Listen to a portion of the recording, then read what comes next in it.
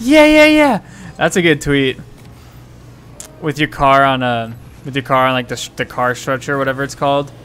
You know what I'm talking about? Like you know how the ambulances have the stretcher, like cars have the stretcher too for like cars. Yeah, the car stretcher, whatever that thing is. Tow truck. Yeah, with your car in the tow truck. Yeah.